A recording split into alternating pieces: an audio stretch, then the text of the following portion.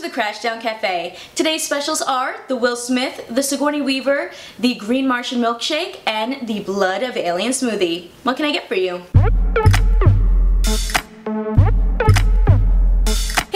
Kristen and welcome to a brand new episode of Dirty Pop where DIY and pop culture collide. One of my absolute favorite shows this year was Roswell, New Mexico. I loved the story and the message and the fact that we were following a strong Latina lead in Liz Ortecho. So this year I decided for Halloween that I wanted to create my own Liz Ortecho slash Liz Parker Crashdown Cafe waitress uniform. It was a lot of fun to make. This is kind of a combination of both characters, if you will, because I really liked the alien apron. I thought that was really fun, so I really wanted to do that. It took about maybe two, two and a half hours to make, and I feel really proud of it. I think it came out pretty good for just, you know, me and my glue gun. So I wanted to share a tutorial of what I did and how I created this look, and I hope you guys enjoy it. Alright, let's do this.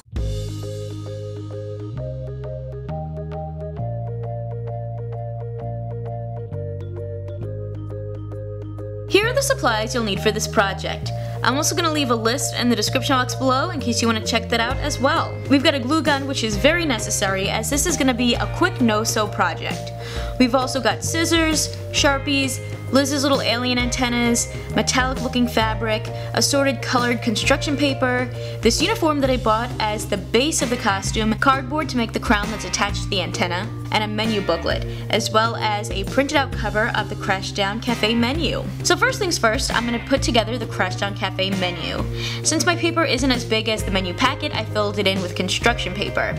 I printed out a Crashdown Cafe cover I found online, but if you want a more authentic feel, there are shops online where you can order a real replica menu.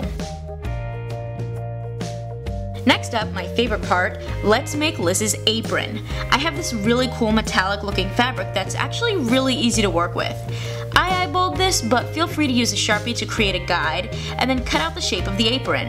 It's sort of like a shield shape. So we're gonna cut little lines into each corner, and then flip your apron over to the white side, and we're gonna hot glue gun an edge. I think this makes it look a lot more polished, and no worries if it's not perfect on either side, because we're gonna be covering that up as well.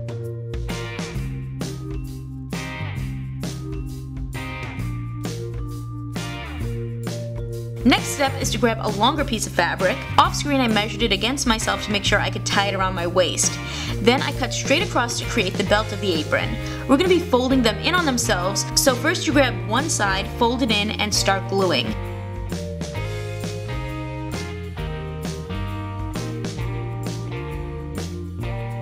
Once you go through the entire length of the fabric, we're going to fold the other side over and glue that down to create more of a clean line.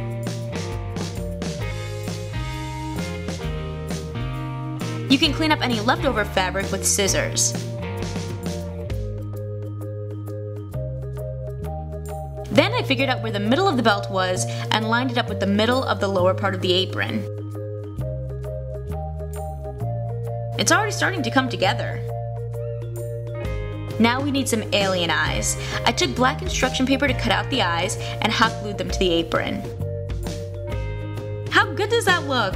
All that with some scissors and a glue gun. Now it's time to make a mini alien for the top of Liz's waitress uniform. I grabbed a smaller piece of metallic fabric and cut it into the shape of an alien head. Next, I cut smaller versions of the alien eyes, again out of my black construction paper. I also grabbed a white piece of paper and my Sharpie to make Liz's name tag. Next up, it's time for the little crown that's a part of the alien antennas. I grabbed a piece of cardboard from an old box, drew the outline of the crown, and cut it out. Then I grabbed another piece of our metallic fabric and traced the crown a bit larger. Cut it out and add some cuts on the corners to help make smooth edges. Now it's time to grab your trusty glue gun and get to gluing. It's helpful here to pull on the edges a bit to help smooth it out.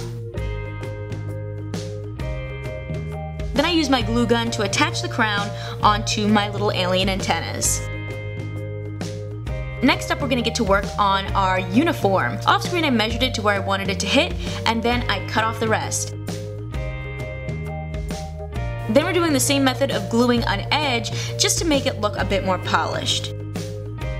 The top also was a little bit too large for me, so I cut off the sleeves just to make it fit a little bit better. Next up I'm adding my little metallic lapel. I traced the shape I wanted on my metallic fabric and then I cut it out. And then an easy way to get a matching opposite side is to flip the original version over to the white side and then cut along that line to make your second lapel. I started with the inside so that it would lay exactly how I wanted it to. And then I folded it over and started gluing it down as I shaped it how I wanted it. I will say be careful during this part because the hot glue is pretty hot. And now I'm adding my final touches, gluing down our little alien face and our Liz name tag. There you go!